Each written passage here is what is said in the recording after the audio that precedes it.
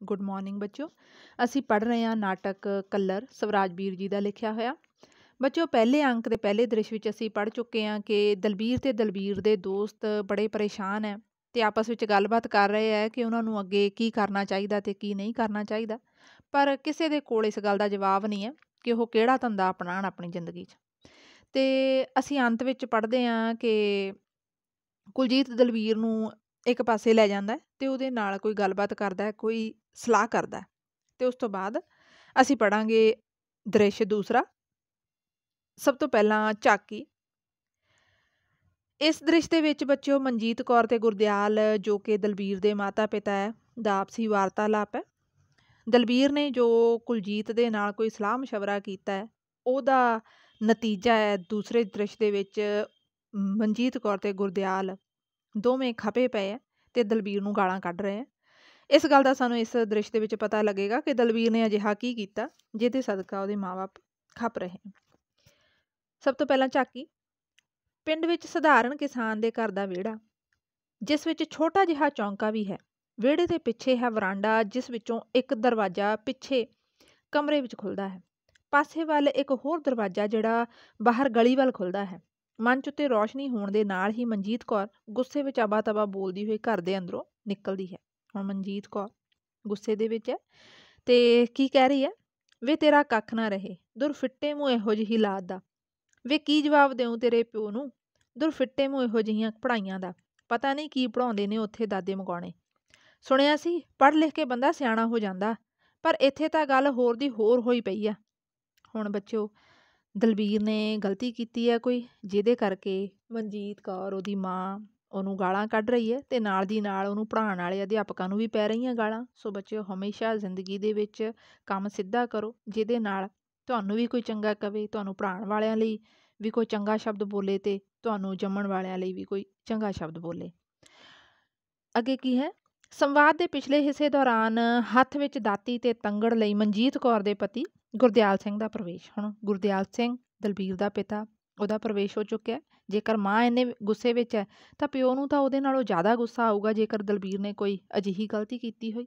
ਅੱਗੇ ਗੁਰਦਿਆਲ ਦਾਦੀ ਤੇ ਤੰਗੜ ਇੱਕ ਪਾਸੇ ਰੱਖਦਾ ਕੀ ਗੱਲ ਹੋ ਗਈ ਮਨਜੀਤ ਕੌਰੇ ਕਿਉਂ ਘਰ ਸਿਰ ਤੇ ਚੁੱਕਿਆ? ਮਨਜੀਤ ਕੌਰ, ਘਰ ਮੈਂ ਨਹੀਂ ਸਿਰ ਤੇ ਚੁੱਕਿਆ ਦਲਬੀਰ ਦੇ ਭਾਊ ਘਰ ਘਰ ਸਿਰ ਤੇ ਚੁੱਕਿਆ ਤੇਰੇ ਉਸ ਲਾਡਲੇ ਨੇ। ਗੁਰਦਿਆਲ, ਲਾਡ ਲਾਓ, ਮੇਰਾ ਨਹੀਂ ਤੇਰਾ ਏ। ਵੀਹ ਵਾਰੀ ਕਿਹਾ ਭਈ ਨਾ ਚੜਾ ਸਿਰ ਤੇ, ਪਰ ਕਾਹਨੂੰ ਸੁਣਨੀ ਹੈ ਅਖੇ ਕੱਲਾ ਕੱਲਾ ਪੁੱਤ ਹੈ ਮਨਜੀਤ ਕੌਰ, ਕੱਲਾ ਕੱਲਾ ਪੁੱਤ ਤੇ ਉਹ ਹੈ ਹੀ ਕਿੰਨੀਆਂ ਸੁੱਖਾਂ ਸੁੱਖ ਕੇ ਲਿਆਏ ਮਹਾਰਾਜ ਕੋਲੋਂ। ਪਰ ਕਾਲਜ ਪੜਾਉਣ ਦੀ ਕੀ ਲੋੜ ਸੀ? ਇਸੇ ਨੇ ਚੌੜ ਕੀਤਾ ਹੈ ਚਲੋ, ਹੁਣ ਦੋਨੇ ਇੱਕ ਦੂਜੇ ਨੂੰ ਕਹਿੰਦੇ ਆ ਕਿ ਤੂੰ ਕਿ ਤੂੰ ਚੜਾਇਆ ਸਿਰ ਦੇ ਉੱਤੇ ਜਾਂ ਤੂੰ ਚੜਾਇਆ ਸਿਰ ਦੇ ਉੱਤੇ। ਹੁਣ ਪਰ ਮਨਜੀਤ ਦਾ ਦੋਸ਼ ਇਹ ਹੈ ਕਿ ਉਹਨੂੰ ਅੱਗੇ ਪੜਾਉਣਾ ਨਹੀਂ ਸੀਗਾ ਚਾਹੀਦਾ। ਕਾਲਜ ਤੱਕ ਨਹੀਂ ਸੀਗਾ, ਉਹਨੂੰ ਜਾਣ ਦੇਣਾ ਚਾਹੀਦਾ। ਗੁਰਦਿਆਲ ਕੀ ਕਹਿੰਦਾ ਤੇ ਪੜਾਉਣਾ ਨਹੀਂ ਸੀ? ਸੋਚਿਆ ਸੀ ਚਾਰ ਅੱਖਰ ਪੜ ਜੇਗਾ ਤਾਂ ਕਿਸੇ ਕੰਮ ਜੋਗਾ ਹੋ ਜਾਏਗਾ ਸਾਰੀ ਦੁਨੀਆ ਪੜਨ ਲਈ ਹੈ ਅੱਜ ਕੱਲ ਉਹ ਵੇਖਾਂ ਆਪਣੇ ਰਾਜੂ ਨੂੰ ਕਿੰਨੀ ਵਧੀਆ ਨੌਕਰੀ ਮਿਲ ਗਈ ਹੈ ਪਰ ਇਹ ਸਾਡਾ, ਇਹਨੇ ਤੇ ਪੜ ਲਿਖ ਕੇ ਗਵਾ ਛੱਡਿਆ। ਪਰ ਇਹ ਤਾਂ ਦੱਸ ਵੀ ਉਹ ਗਿਆ ਕਿੱਥੇ ਹੈ ਨਾਲੇ ਉਹਨੇ ਕੀਤਾ ਕੀ ਹੈ ਮਨਜੀਤ ਕੌਰ। ਕੀਤਾ ਉਹਨੇ ਖੇਤੇ ਸਵਾ ਹਰ ਵੇਲੇ ਹਰਲ ਹਰਲ ਕਦੇ ਇੱਧਰ ਨੂੰ, ਕਦੇ ਉੱਧਰ ਨੂੰ। ਉਹ ਜਿਹੜਾ 5000 ਰੱਖਿਆ ਸੀ ਨਾ ਬੀ ਵਾਸਤੇ, ਉਹ ਲੈ ਗਿਆ ਹੀ ਕੱਢ ਕੇ। ਸੋ ਹੁਣ ਦਲਵੀਰ ਨੇ ਕੀ ਕੀਤਾ? ਘਰ ਚੋਂ 5000 ਰੁਪਇਆ ਕੱਢ ਲਿਆ, ਜਿਹੜਾ ਕਿ ਘਰਦਿਆਂ ਨੇ ਆਪਣੀ ਖੇਤੀਬਾੜੀ ਦੇ ਲਈ ਬੀ ਵਾਸਤੇ ਰੱਖਿਆ ਹੋਇਆ ਸੀਗਾ। ਗੁਰਦਿਆਲ, ਹੁਣ ਬਹੁਤ ਗੁੱਸੇ ਵਿੱਚ ਆ ਜਾਂਦਾ 5000 ਗੰਦੀ ਲਾਦ, ਕੁੱਤਾ ਕਿਸੇ ਥਾਂ ਦਾ।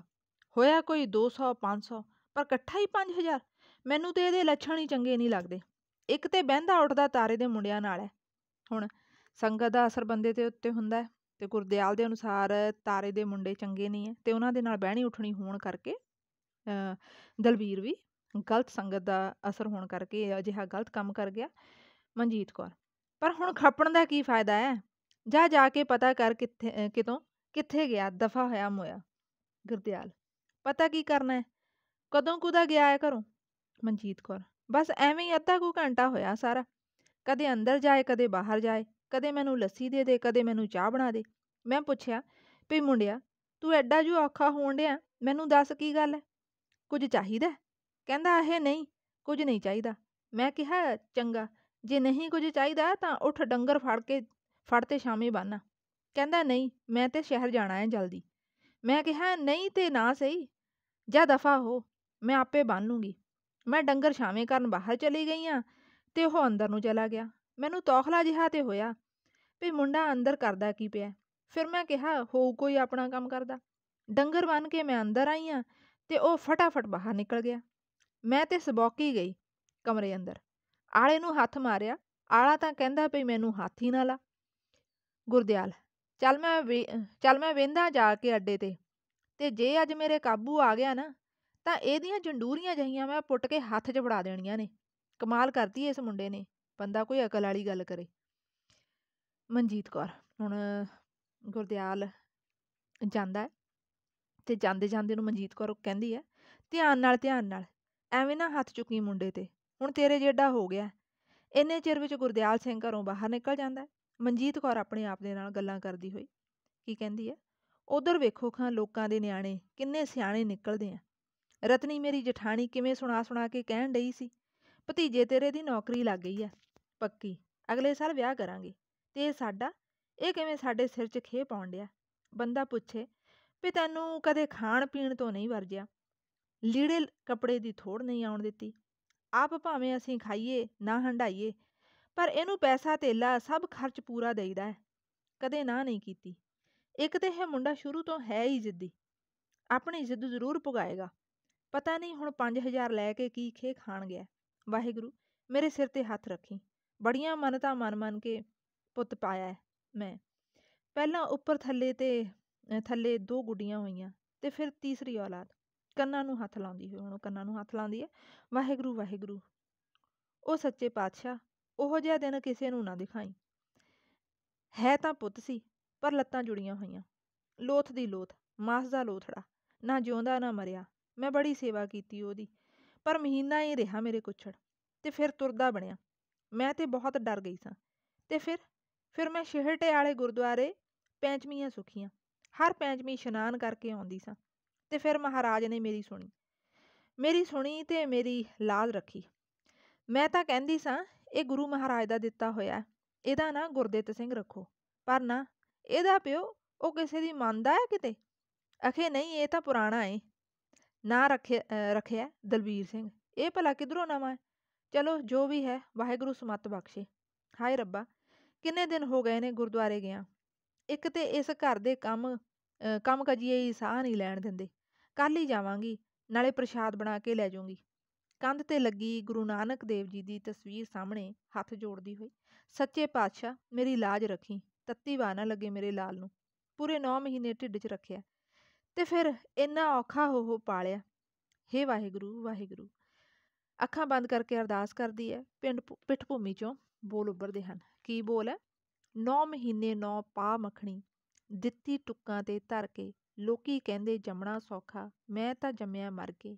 ਹਰ ਪੈਂਚਮੀ ਸੀਸ ਨਿਵਾਇਆ, ਸੌ ਅਰਦਾਸਾਂ ਕਰਕੇ, ਪੁੱਤਰ ਸੋਹਣਾ ਫਿਰ ਮੈਂ ਪਾਇਆ, ਨਾਲ ਨਸੀਬਾਂ ਲੜਕੇ, ਮਨ ਚ ਉੱਤੇ ਹਨੇਰਾ ਹੁੰਦਾ ਹੈ। ਸੋ ਇਸ ਤਰ੍ਹਾਂ ਦਲਵੀਰ ਦੇ ਚੋਰੀ ਕਰਨ ਕਰਕੇ ਮਾਪੇ ਪਰੇਸ਼ਾਨ ਹੁੰਦੇ ਆ ਤੇ ਦਲਵੀਰ ਦੀ ਮਾਂ ਦੇ, ਮਾਂ ਦੀਆਂ ਗੱਲਾਂ ਤੋਂ ਪਤਾ ਲੱਗਦਾ ਹੈ ਕਿ ਦਲਵੀਰ ਉਹਨਾਂ ਨੂੰ ਬੜਾ ਔਖਾ ਮਿਲਿਆ, ਉਹਨਾਂ ਨੇ ਬੜੀਆਂ ਸੁੱਖਾਂ ਸੁਖੀਆਂ। ਹਰ ਪੈਂਚਵੀਂ, ਬੱਚੋ ਪੈਂਚਵੀਂ ਚੰਦਰਮਾ ਪੱਖ ਦੀ ਕੋਈ ਤਿਥੀ ਹੁੰਦੀ ਹੈ, ਜਿਹਦੇ ਕਰਕੇ ਲੋਕ ਇਹਨਾਂ ਨੂੰ ਚੰਗਾ ਮੰਨਦੇ ਆ ਤੇ ਇਹਨਾਂ ਦਿਨਾਂ ਦੇ ਵਿੱਚ ਗੁਰਦੁਆਰੇ ਜਾਂ ਮੰਦਿਰ ਜਾ ਕੇ ਉਹ ਪ੍ਰਮਾਤਮਾ ਅੱਗੇ ਅਰਦਾਸ ਕਰਦੇ ਆ।